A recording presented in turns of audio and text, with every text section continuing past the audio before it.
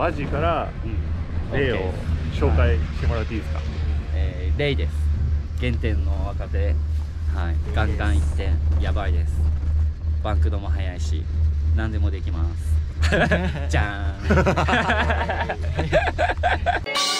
S log, so much fun you can't ignore. Hit the snow, explore on my snowboard. In Hokkaido, city of Sapporo. We snow surfing in the mountains. Hey, here we go. On an adventure, I hope you love a thrill. History and culture with my homie Neil. Japanese food, good times to the end. Uh-huh. And he brought a few friends, make sure you tune in. Let's go. Hey, S